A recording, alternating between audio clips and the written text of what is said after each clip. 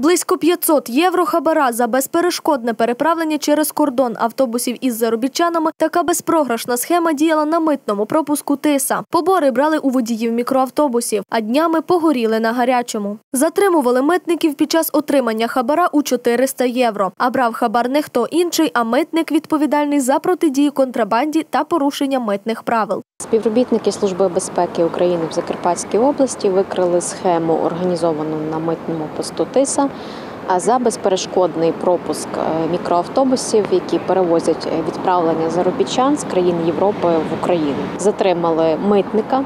Відповідального за боротьбу з контрабандою та е, порушеннями митних правил, якраз під час отримання ним 400 євро з такого мікроавтобусу.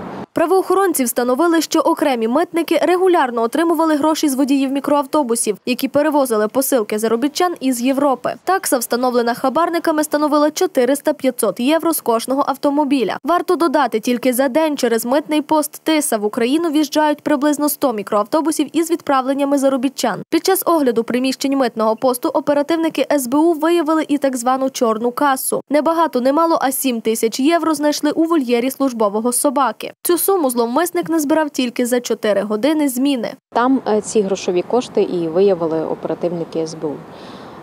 Наразі зловмисник затриманий в порядку статті 208 КПК України. Військова прокуратура розпочала кримінальне провадження за частиною 3 статті 368 Кримінального кодексу України. Також тривають оперативно-слідчі дії для встановлення усіх причетних до цієї оборудки.